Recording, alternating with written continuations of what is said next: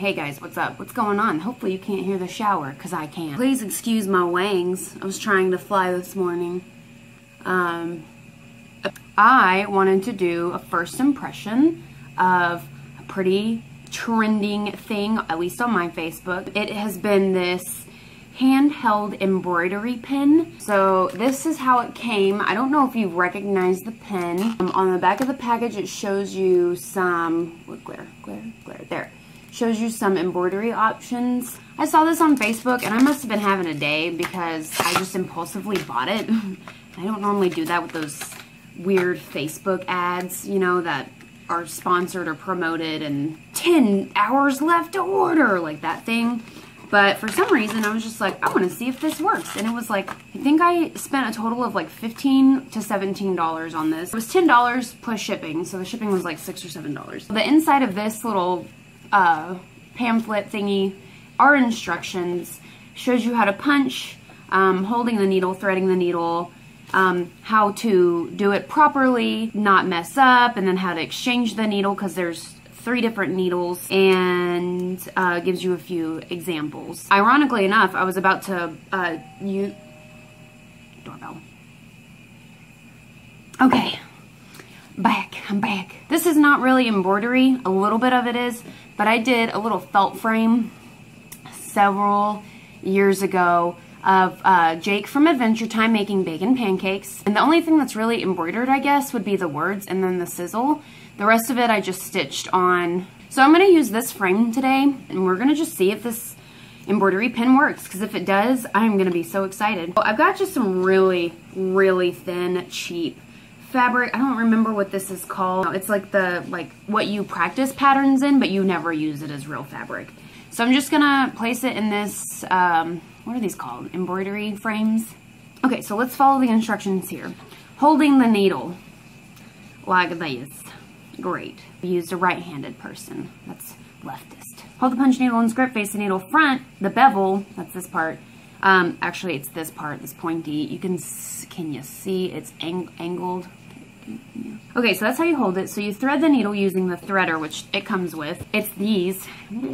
So you insert the threader into the punch needle from the needle point and complete through its barrel until it comes out the opposite end. Get this teeny tiny threader, thread it through the, I feel like this needle is huge. We'll find out.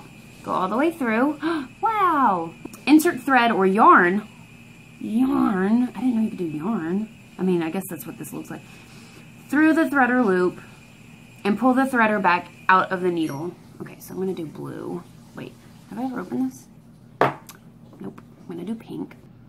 Put it through the threader. Okay. And remove this from the threader. Ooh. Insert the threader through the needle eye from the needle back of the needle tip. Needle.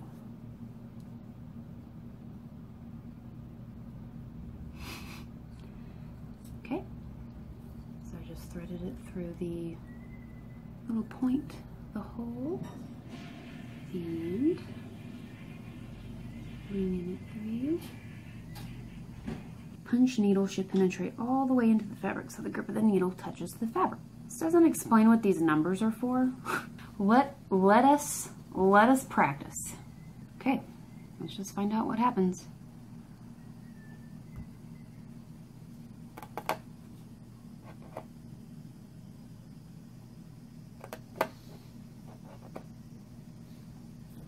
This needle is too big. Remove the cap, loosen the screw, and take the needle out.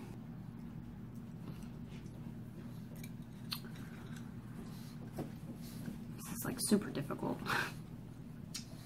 oh, okay, how do I... Chauncey, help me.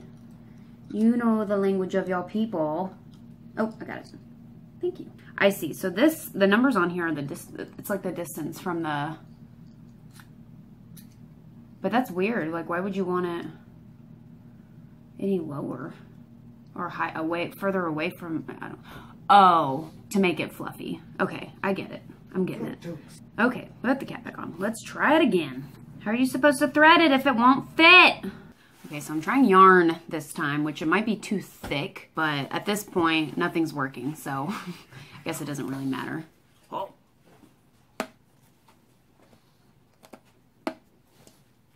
Nope, that, nope, that's not working. Need a Ghost Rider. Do we have any other yarn? Do I have thinner yarn? Oh, I do. Okay, let's try a thinner yarn.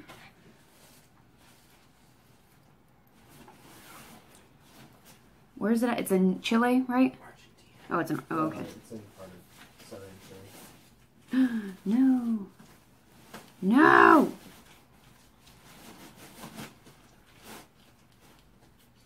I broke it. I'm breaking it. I'm breaking it. Not an option. Okay. Not so sure about this one, but we'll find out. I can't even thread this yarn. Said I can't even thread this yarn. Okay. It's a bust. We're gonna call this uh fail. Well, A for effort? Nah, I don't even think it's A for effort. Well, hopefully I can return it, because piece of poop. Thanks for watching. This has been a productive video. Glad I could do it. I could waste my time. Just kidding. It would have been cool if it worked, but oh well. All right, tune in next time for my first impression. But just keep on.